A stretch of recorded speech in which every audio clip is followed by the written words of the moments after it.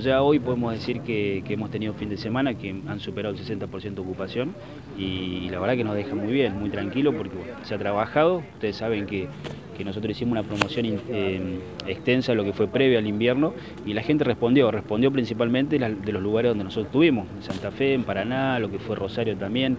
Eh, oportunamente estuvimos este fin de semana en Chaco y en, lo que es la Bienal y también paralelamente en lo que es la fiesta del Poncho en Catamarca, eh, dos ciudades muy activas que también por estadística nos visitan. Pero de este fin de semana particular, que fue el mejor, en general hemos estado muy cercanos al 70% de ocupación y vamos a ver cómo nos quedaría lo que es Buenos Aires, que la última semana ya, eh, pero la verdad es que eh, adelantando un poquito de lo que puede ser un balance general, eh, ha sido positivo. En cuanto a los teatros, ¿qué se puede decir?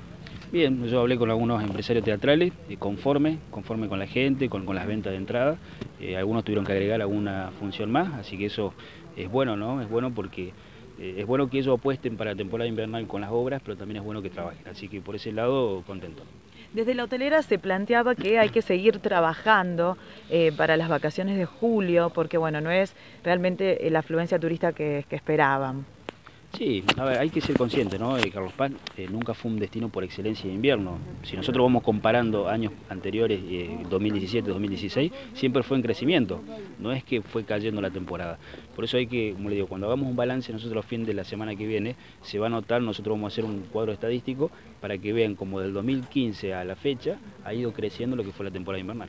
Recién decía que ha rozado el 70% más o menos la ocupación. En cuanto al consumo, ¿se puede hablar de que la gente ha consumido, no? Todavía no, no tenemos, por eso vamos a hacer un balance general junto también con, con las distintas instituciones que regulan eh, la parte comercial, con la agencia Córdoba también, que ellos tienen sus números, y poder ver cómo anduvo con respecto al consumo. Si nosotros con la ocupación podemos dar porque bueno, lo tratamos directamente con los hoteleros.